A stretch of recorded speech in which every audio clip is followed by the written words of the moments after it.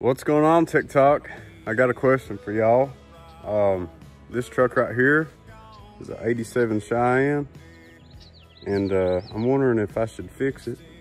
As you can see, it's here at the old barn here at the house and uh, I was about 17 when I wrecked it. It ran like a brand new truck when I wrecked it. It's got the 350 in it. It's been about eight years ago. My dad bought this truck off an old man who was the original owner and it's just got about 43,000 miles on it. It's got a real straight body other than the front end. Here's another 87 GMC. I reckon anybody could take the parts from both these trucks and make a good one. Y'all let me know what you think. Or would y'all fix this old Rumble Bee up? It's only got about 65,000 miles on it. Y'all let me know.